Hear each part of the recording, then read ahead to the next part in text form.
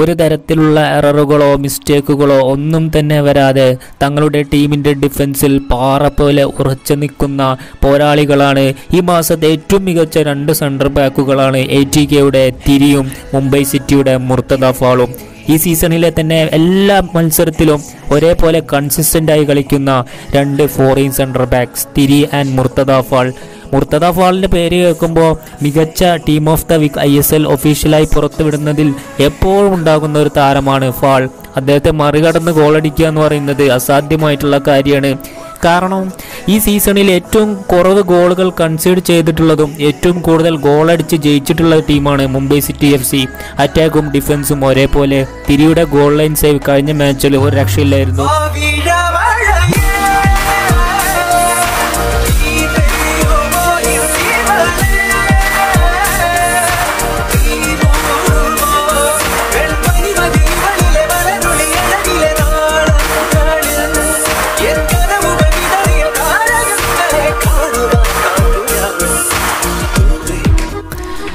എപ്പോഴും കൂളായിട്ടും കാമായിട്ടും കളിക്കുന്ന രണ്ട് യുവ സെൻട്രൽ ബാക്കുകൾ മികച്ച പാസുകൾ ഒരുപക്ഷെ ഭാവിയിൽ ഇന്ത്യൻ ടീമിലേക്ക് വരാൻ ചാൻസുള്ള രണ്ട് താരങ്ങളാണ് സന്ദീപ് സിംഗും ഹൈദരാബാദ് എഫ് സിയുടെ ചിങ്ലാൻ സനയും.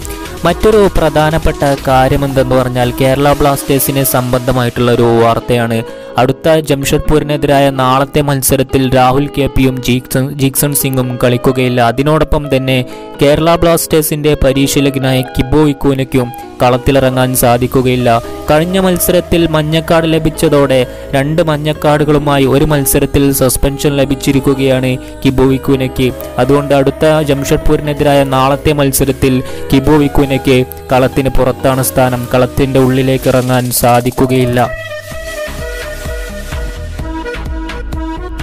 മറ്റൊരു പ്രധാനപ്പെട്ട കാര്യം കഴിഞ്ഞ മത്സരത്തിൽ പരിക്ക് കാരണം കളിക്കാതിരുന്ന കേരള ബ്ലാസ്റ്റേഴ്സിന്റെ ജോർദാൻ മോറെ. പരിക്ക് മാറി ബ്ലാസ്റ്റേഴ്സിന്റെ പ്ലേയിങ് ഇലവനിൽ അടുത്ത മത്സരത്തിൽ കളിക്കുമെന്നാണ് ചില അൺഒഫീഷ്യൽ ആയിട്ടുള്ള സൈറ്റുകളിൽ നിന്നും ലഭിക്കുന്ന റിപ്പോർട്ടുകൾ. ഒരുപക്ഷെ ഇതിന് യാതൊരു ഫലങ്ങളോ അതായത് ഉറപ്പോ ഒന്നുമില്ല.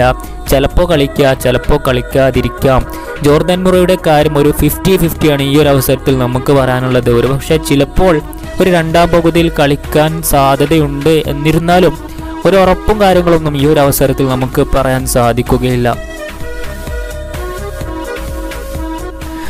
മറ്റൊരു പ്രധാനപ്പെട്ട കാര്യം ഇന്ത്യൻ ഫുട്ബോൾ ടീമിന്റെ പരിശീലകനായി ഇഗോർ സ്റ്റിമാക് അടുത്ത ഒന്ന് രണ്ട് മാസങ്ങൾ കഴിഞ്ഞാൽ ലോകകപ്പിന്റെ ക്വാളിഫയർ വരാൻ പോവാണ്.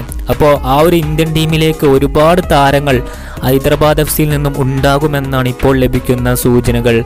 അതിലേറ്റവും പ്രധാനപ്പെട്ട താരങ്ങൾ ഹൈദരാബാദ് എഫ് സിയുടെ വിങ് ബാക്ക് ആയിട്ടുള്ള ആശിഷ് റായ് ആകാശ് മിശ്ര ലിസ്റ്റൻ കൊലാക്കോ മുഹമ്മദ് ഹസ്രി നാല് താരങ്ങളും ഇന്ത്യൻ ടീമിലേക്ക് അവർക്ക് സെലക്ഷൻ ലഭിക്കുമെന്നാണ് ഇഗോർ സ്റ്റിമാക്കിന്റെ വാക്കുകളിൽ നിന്ന് നമുക്കറിയാൻ സാധിക്കുന്നത്.